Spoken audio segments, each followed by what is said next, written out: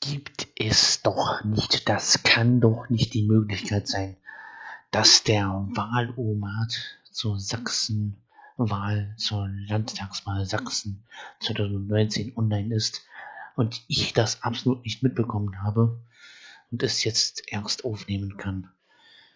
Hier haben wir ihn, den Wahlomat zur Landtagswahl Sachsen 2019 von der Bundeszentrale für politische Bildung erstellt, gesponsert von äh, ja, denen, ja, der Wahlomat. Willkommen beim Wahlomat. Alle 19 Parteien und politischen Vereinigungen haben die Wahlomat-Thesen beantwortet. Das freut mich sehr. Jetzt sind Sie in der Reihe. Vergleichen Sie Ihre Standpunkte mit den Antworten der Parteien. Die Wahlomat der Wahlomat ist keine Wahlempfehlung, sondern ein Informationsangebot über die Wahlen und die Politik. Ja, wir starten den Wahlomat gleich mal und legen los mit den Fragen und finden mal raus, welches Match denn so zu mir passt. Welche Partei passt am meisten? Welche, ja, welche sollte ich denn eigentlich wählen? Also es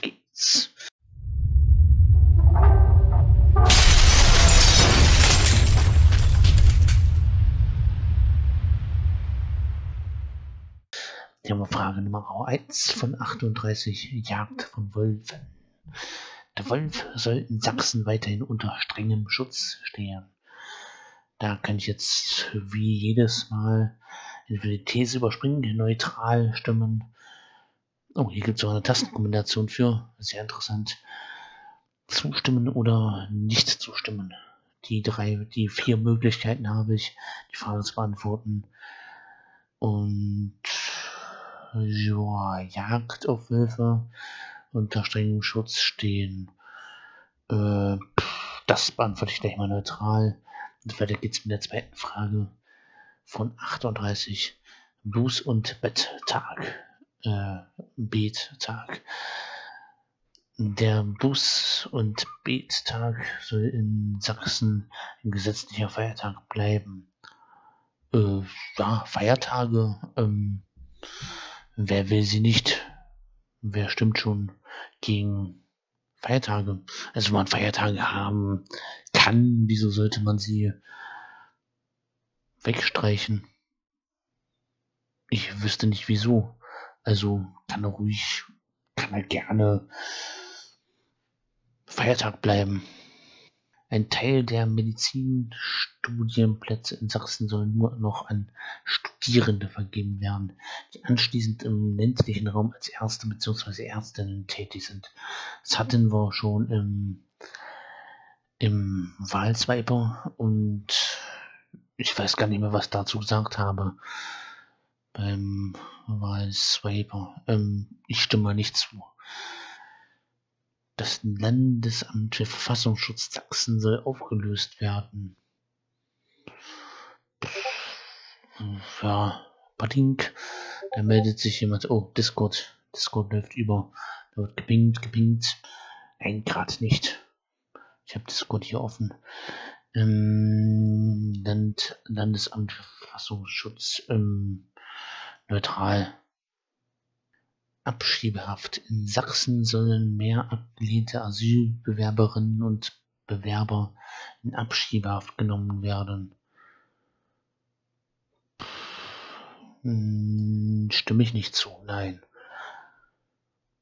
Gehalt von Erziehern. Erzieherinnen und Erzieher sollen das gleiche Gehalt wie Lehrerinnen und Lehrer erhalten. Ja. Soziale Berufe kann man mal unterstützen. Das ist grundsätzlich was Gutes.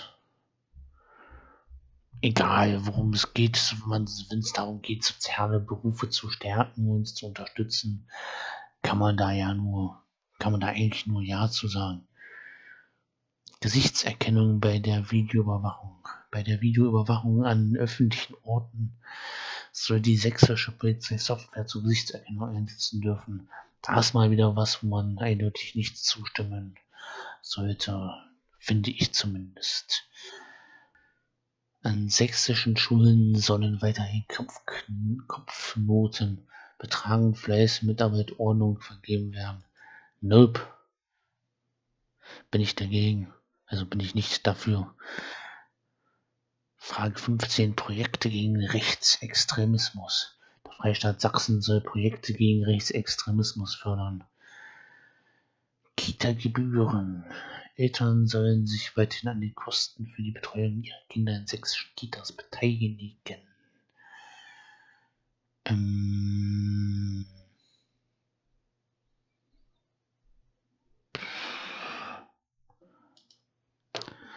ökologische Landwirtschaft. Ökologisch. Der Freistaat Sachsen soll ökologische Landwirtschaft stärker fördern als konventionelle. Ähm, ja. Konfessioneller Religionsunterricht. Der konfessionelle Religionsunterricht an öffentlichen Schulen in Sachsen soll abgeschafft werden. Ja. Wieso abschaffen? Ich meine, einführen würde ich es jetzt auch nicht unbedingt. Also ein, neu einführen müsste, müsste man es jetzt meiner Meinung nach auch nicht unbedingt, aber abschaffen. Nee. Alle Polizistinnen und Polizisten sollen im Einsatz eine individuelle Kennzeichnung tragen müssen. Ähm, ja, dem stimme ich zu. Dann entscheide ich mich dafür mal zuzustimmen. Wohngeld für Deutsche. Wohngeld soll nur an Deutsche ausgezahlt werden. nur an Deutsche. Deutschland. Ähm, nee, dem stimme ich nicht zu. Die 5%-Hürde bei der Landtagswahl soll beibehalten werden. Da stimme ich guten Gewissens nicht zu. Die 5%-Hürde diskriminiert kleinere Parteien, Kleinstparteien, die diese 5% nicht behalten und auch jedes ich halte mich kurz, auch jede, jede Kleinstpartei, jeder, jeder Wähler soll mit seiner Stimme vertreten sein. Punkt. So ist es dazu. Kann man schnell zusammenfassen. Frage 30 schon von 38. Militäre Forschung an Hochschulen. An öffentlichen Hochschulen in Sachsen soll die Forschung zu militärischen Zwecken weiterhin erlaubt sein. Neutral. Der Freistaat soll die Zuwanderung ausländischer Fachkräfte nach Sachsen fördern. Ja, soll er. Brachliegende Baugrundstücke sollen für den städtischen Wohnungsbau enteignet werden können. Ähm, Enteignungen brachliegende Baugrundstücke brachliegend Ja, das. Ich bin mal neutral. Ein traditionelles Familienbild. Oha. In sächsischen Schulen soll ausschließlich das traditionelle Familienbild Vater, Mutter, Kind vermittelt werden. Stimme ich absolut nicht zu. Was für eine These. Absolut nein. Mit Protest stimme ich dagegen. Auch der Besitz geringer Mengen Cannabis soll strafrechtlich verfolgt werden. Oh, die Frage ist jetzt anders formuliert als die im, im Wahlswiper. Geringer Besitz an Cannabis soll strafrechtlich verfolgt werden. Im Wahlswiper, ich erinnere dran, ging es um die Legalisierung. Hier ist der Besitz geringer Mengen strafrechtlich. Da bin ich natürlich dagegen, da stimme ich nicht zu. Ihr kennt meine Stimme, ihr kennt meine, meine zugegebenermaßen vielleicht ein wenig konservative, zumindest in diesem Punkt, Einstellung gegenüber Drogen und Cannabis. Aber ja, wie, wie schon gesagt, das, da gibt es kein Schwarz, kein Weiß. Das ist, das ist in Grauzone zu betrachten. Daher hier in diesem Punkt, bei dieser Fragestellung, bei dieser These, muss ich nicht zustimmen. Da kann ich nichts zustimmen, das, das muss ich ablehnen. Und meine Lieblingsfrage zum Schluss, Wahlalter senken. Bei den Landtagswahlen soll das Wahlalter gesenkt werden. Jo, jo, jo, jo, jo. können wir dreifach und vierfach gewichten. Hier können wir es hier nochmal gewichten.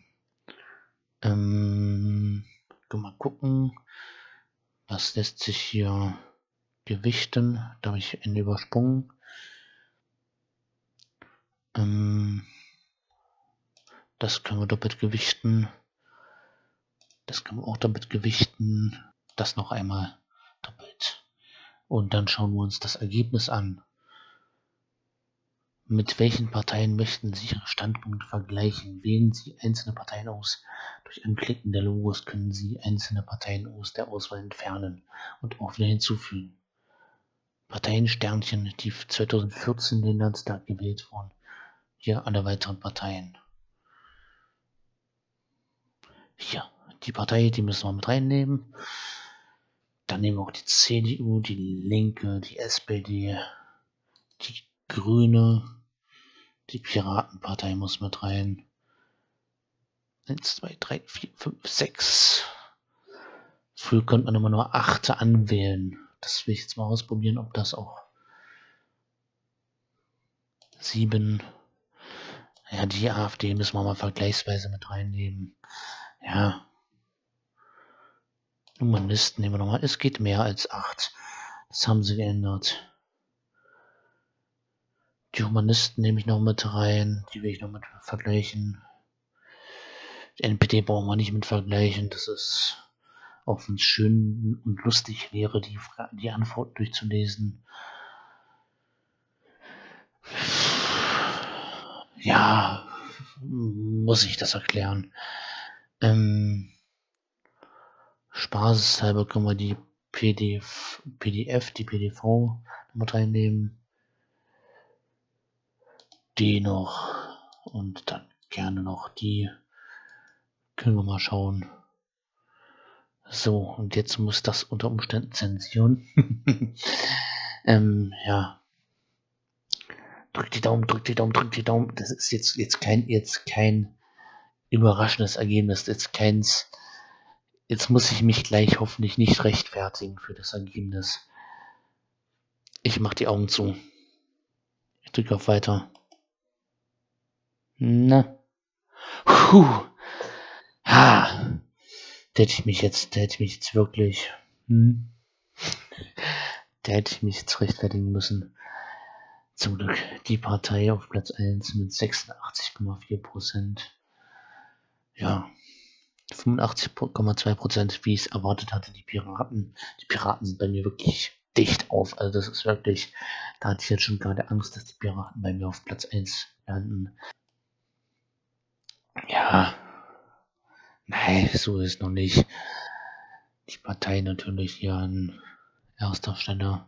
Ist klar, seiner Partei ist man selbst irgendwie am ehesten dran die Begründung der Partei. Das können wir uns gleich nochmal nur durchlesen in Ruhe. Alles klar.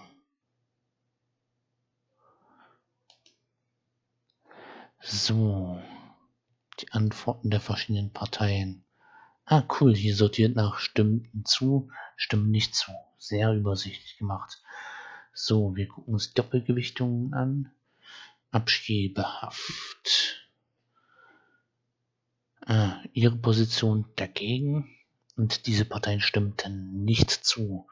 Okay, da gucke ich mal erstmal bei denen, die der Abschiebehaft zustimmten. Da gucke ich mal, dass die AfD, die PDV und die FDP, die haben dazu gestimmt. Die waren also einer anderen Meinung als ich. Die Humanisten und die CDU haben sich enthalten dafür, also auf meiner Seite, also stimmten zu, genau wie ich, die Tierschutzpartei, die KPD, die SPD, die Grüne, die Linke, die Piraten und zu guter Letzt die Partei. Die Partei begründet ihre Meinung mit den Worten, ein offener Vollzug begrenzt auf Sachsen ist strafgenug und verteilt, verleitet zur eigenständigen Flucht. Ja, weise Worte. These 12. Gesichtserkennung bei der Videoüberwachung. Jetzt wollen wir mal die Humanisten zu Wort kommen lassen. Äh, nee. Die FDP, ja, das ist schön kurz, das kann ich mir durchlesen. Der anlasslose automatische Abgleich von personenbezogenen Daten wie beispielsweise Gesichtserkennung ist kein Beitrag zu mehr Sicherheit, sondern lediglich ein Beitrag zum Überwachungsstaat. Ja, ich lasse das hier einfach alles unkommentiert im Raum stehen und jetzt wird spannend, jetzt wird es lustig. These 15 Projekt gegen Rechtsextremismus. Der Freistaat Sachsen soll Projekt gegen Rechtsextremismus fördern. Hm. Ah, mit neutral. Keiner ist dagegen gestimmt. Keiner stimmte, also hier für den Wahlomaten. Die haben die Antworten für den Wahlomaten gegeben, für die Veröffentlichung hier in diesem Auswahl. Das möchte ich nochmal hervorheben. Also, wie die dann letztendlich, wenn es Rad auf Rad kommt, entscheiden, ist dann nochmal eine andere Sache. Die AfD und die PDV stimmten für neutral. Wir schauen uns mal die Tierschutzpartei an. Wir, die Partei, wir, die Partei Mensch, Umwelt, Tierschutz, stehen für eine tolerante und weltoffene Gesellschaft, in der Rassismus keine Chance hat. Deshalb setzen wir uns konsequent gegen Rechtsextremismus ein, unter anderem durch unseren Bundesarbeitskreis Mut gegen Rechts und sind natürlich eine bestmögliche Förderung von Projekten in Sachsen. Und hier haben wir noch was, die 5%-Hürde. ja, mir ist gleich die Begründung der Partei angesprungen. Ja, wir würden die SPD sehr vermissen. Das stimmt. 5%-Hürde. Da ist die Partei natürlich dagegen. Versteht sich von selbst. Und zustimmten nur, die anderen müssen wir jetzt nicht an durch vorlesen, für eine 5%-Hürde stimmten Grüne, SPD, FDP und CDU. Hm da will ich mal die, den, eins, ähm, ähm, die Grüne will ich mir anhören. Um die Funktionsfähigkeit des Parlaments sicherzustellen, sind wir Grüne für das Beibehalten der 5%-Hürde bei der Landtagswahl. Weil das Thema mich so sehr interessiert, möchte ich hier nochmal die Linke lesen. Die ist nämlich dagegen. Was sagt die dazu? Gleiche Chancen für alle. Das Parlament muss Abbild der Gesellschaft sein. Meine Rede.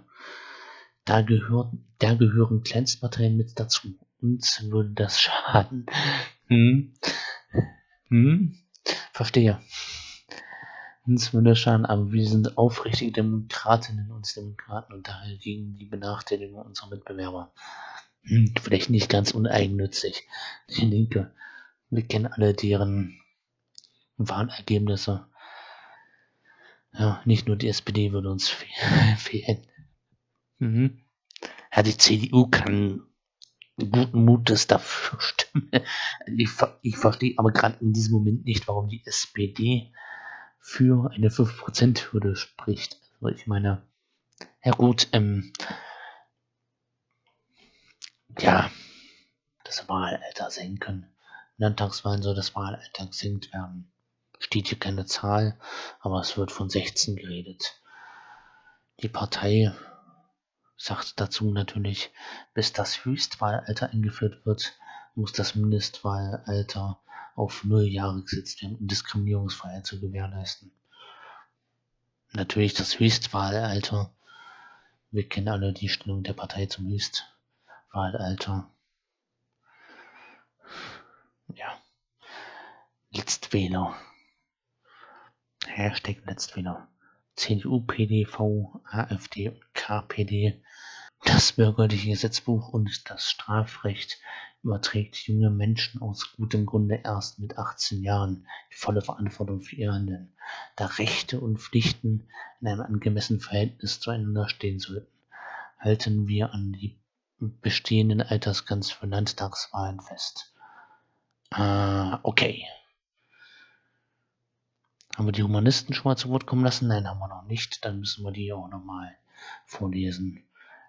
Wir setzen uns dafür ein, dass Bürgerinnen und Bürger ab 16 Jahren das aktive Wahlrecht bei allen Wahlen besitzen. Jugendliche verfügen oftmals schon über klare politische Positionen und haben überdies ein Recht darauf, Einfluss auf ihre Zukunft zu nehmen. Auch meine Worte. Wir stehen für die Stärkung von Jugendparlamenten und Politikbildung. Ja das so zu meinem Wahlomat-Ergebnis. Könnt das sehen.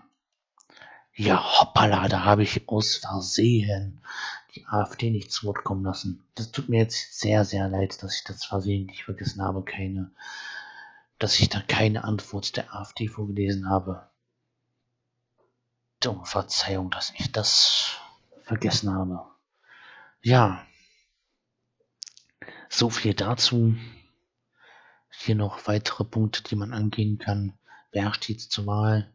Gibt es noch ein kleines FAQ und Fakten zur Wahl?